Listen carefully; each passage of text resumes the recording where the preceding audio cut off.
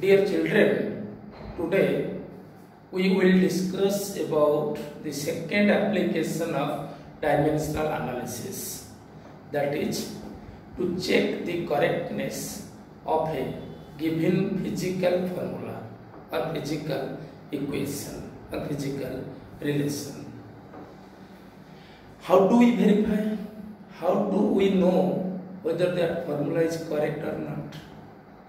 For example, a formula is given to you that is V is equal to U plus LT. Without knowing the concept of this formula, we can verify, we can know whether this formula is correct or not by using dimensional analysis. You remember, if the dimensions of each term of a given physical formula are same, then the formula is dimensionally correct. Repeating again, if the dimensions dimensions of each term of a विभिन्न physical formula or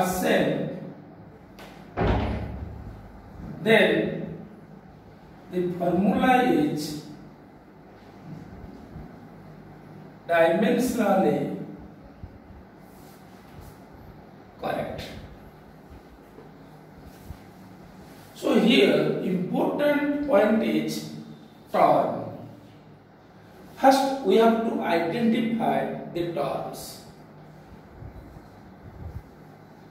Let us take one example that is V is equal to U plus T. Here V is one term, U is one term, T is one term. Here A is one term, T is other term. No. That means the terms either they are in the sum form or difference form. If they are in the product form, then they cannot be regarded as one one terms. The whole will be one term. Again, terms means either they are in the sum form, addition form, or difference means subtraction form, not in the product form. The whole product can be considered as a single term. Here you see V is one term, U is one term, here the whole product a T is another term. A is one term, T is another term. No. A T as a whole, it is one term. Similarly, another example I can give V square minus U square that is 2AS. Here V square is one term, U square is another term, 2AS is another term. A is one term, S is another term. No, the whole product is one term. That means the terms of the formula either they are in the sum form, SUM sum form, or difference form, addition form, or subtraction form. Why? Because two same quantities you can add. Two same quantities you can subtract. You cannot add one quantity with other different quantity. Means you can add distance with distance. You can subtract distance from distance. But you cannot add force with distance. You can multiply two different quantities, but you cannot add or subtract two different quantities. For example, you can multiply mass with acceleration, but you cannot add mass with acceleration. So torque, you remember that is either they are in the sum form or in the difference form.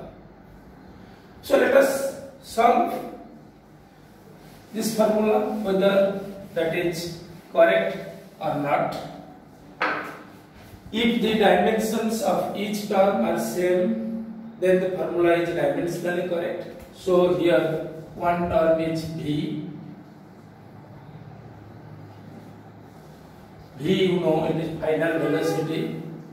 The dimensional formula is L1 T minus 1 U initial velocity L1 T minus 1 a T is acceleration the dimensional formula is L1 T minus 2 and T is time that is T that is L1 T minus 1 you see the dimensions of each term are same. So the formula is dimensionally correct.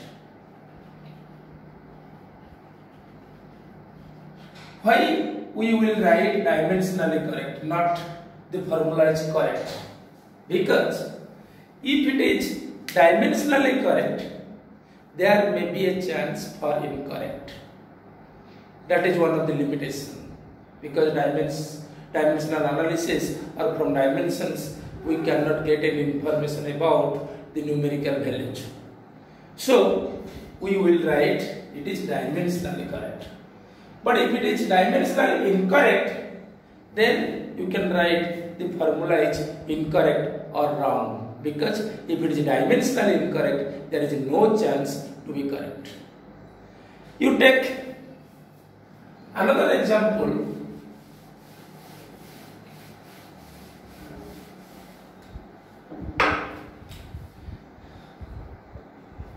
S is equal to ut plus half t square. Here S is one term, ut is another term and half t square is another term. So S dimension that is it is displacement it is L1 ut dimension u is initial velocity L1 t minus 1 and for time it is t so it is L.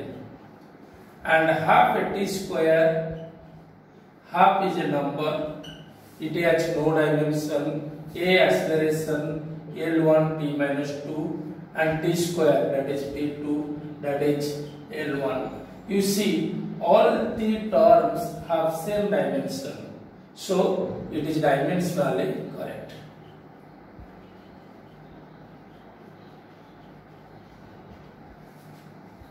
You take another example.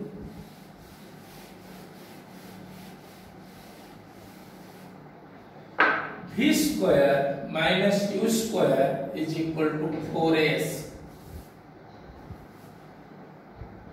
V square here one term is V square, second term U square and the third term 4S. V square V is final velocity square that is L1 t minus 1 whole square that is L2 t minus 2 u square L1 t minus 1 whole square that is L2 t minus 2 and 4s 4 is a number it has no dimension L L1 t minus 2 and S is L that is L2 T minus 2.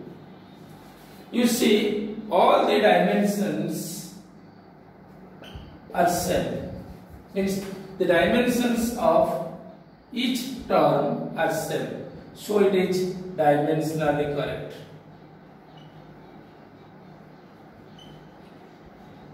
You see v square minus u square is not 4s, it is 2s. The true formula is v square minus u square that is 2as. But here we have taken 4as. Dimensionally it is found that this formula is correct. But actually it is not correct, it is wrong. That's why we are writing it is dimensionally correct. Means dimensionally correct means there may be a chance for incorrect. Because dimensional analysis cannot give any information about this numerical values. Now come to another question that P is equal to ma let p is momentum m is mass a is acceleration. We have to verify it p momentum you know m1 l1 t minus 1 mass into velocity m1 l1 t minus 1 ma for mass it is m for acceleration it is L1 t minus 2 that is M1 L1 t minus 2 you see the dimensions are not same so it is wrong don't write dimensionally incorrect or dimensionally wrong if it is dimensionally wrong it is wrong because there is no chance to be correct so now come to Another question W is equal to half mv square minus half mu. Here these are one one terms. We have to check whether this formula is correct or not. W that is work. M1 l2 t minus 2 half mv square. Half has no dimension. F m1 v l1 t minus 1 square. That is m1 l2 t minus 2 and half mu it is has no dimension m is m1 u l1 t minus 1 that is m1 l1 t minus 1 you see the dimensions of all the terms.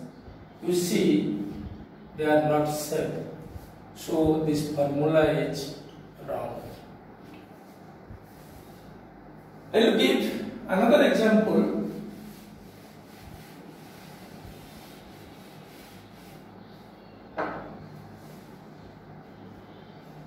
plus a by V square into V minus b is equal to R T it is also equation of state here P is pressure V is volume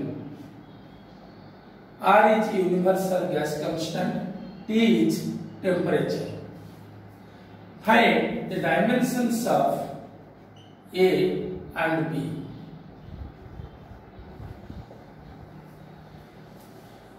I have told that two similar quantities can be added or can be subtracted.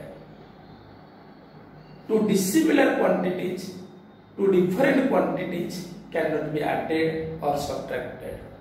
They can be multiplied, they can be divided. Here, P is added with A by B square. That means P has same dimension as that of A by B square. That means A has dimension, the dimensions of P B square. What is P pressure? That is M1, L minus one T minus two V जो volume that is L three power two so it is M one your L six L it is L minus one L five and T to the power minus two it is the dimensional formula of A. Now you find dimensions of B. You see B subtracted from B. That means B has same dimension that of B. That means it is L cube. So some examples we have discussed. In the next class, we will find or will discuss the third application of dimensional analysis.